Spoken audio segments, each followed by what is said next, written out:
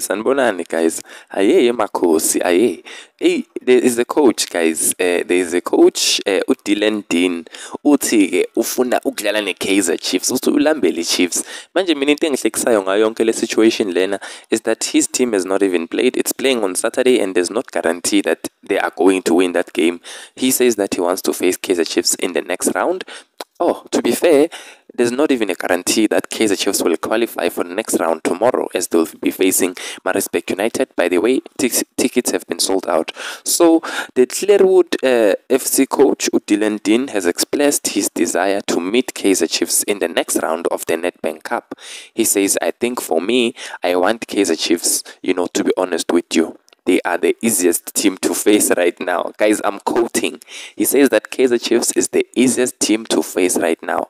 He goes further to say, I think also being a student of this game, I started watching football at a very young age, being a Kaizer Chiefs supporter myself all these times.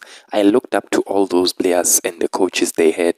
Shane MacGregor, Rudolf Siale, uh, Tiki Kulu, uh, Teenage Dladla, and those players, you know, I look uh, at football passion it brings to me and to my players. It creates a good feel in and around our club when I talk to them about the past and how we could play football and how football should be played. So yeah, I'd actually like to get Kaizer Chiefs to be honest with you. So there you have it guys. Like I said, the Clearwood uh, coach UDylan, you know, Utige ufuna amakosi for the next round and he thinks that it is the easiest team uh, to beat, to face rather. So Let's see. Let's see what's going to happen.